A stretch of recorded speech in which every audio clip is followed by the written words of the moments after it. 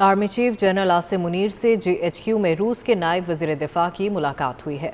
ISPR के मुताबिक मुलाकात में खत्े की सलामती की सूरत हाल समेत बाहमी दिलचस्पी के अमूर पर बातचीत की गई है। Army chief general Asim Munir से जीएचक्यू में रूस के नायब वज़ीर दिफा की मुलाकात हुई है। आई एस पी आर के मुताबिक मुलाकात में खत्े की सलामती की सूरत हाल समेत बाहमी दिलचस्पी के अमूर पर बातचीत की गई है।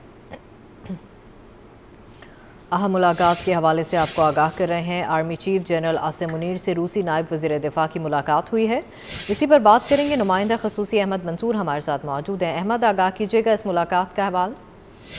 देखिए, जो रूस के नायब वज़ीर दिफा हैं, वो पाकिस्तान के दौरे पर हैं। उन्होंने जीएचक्यू में army chief general Syed Asim Munir से भी मुलाकात की है। और आई ने इस हवाले से बताया है कि इस मुलाकात में खत्े की सलामती की सूरत हाल समेत जो बाहमी दिलचस्पी के अमूर हैं उन पर बातचीत की गई है। दो तरफा दिफा और सोलती तावन के फरोग के हवाले से भी बातचीत हुई है और आर्मी चीफ ने रूस के साथ जो रवायती दफाई रवाबत हैं पाकिस्तान के, उनको मजीद मज़बूत करने का जो अजम है, उसका अदा किया है और जो रूसी नायब वज़ीर दफ़ा है, उन्होंने पाकिस्तान फौज की जो कामयाबियाँ हैं दहशत गर्दी के खिलाफ उन्हें सराहा है एक्नॉलेज किया है और उन्होंने इस बात की अहमियत पर ज़ोर दिया है कि जो एक जो यूनिफाइड और कोऑपरेटिव अप्रोच है जो ग्लोबल कम्युनिटी आलमी बरादरी के दरमियान दहशत गर्दी को के इमदाद के लिए वो बहुत अहम है।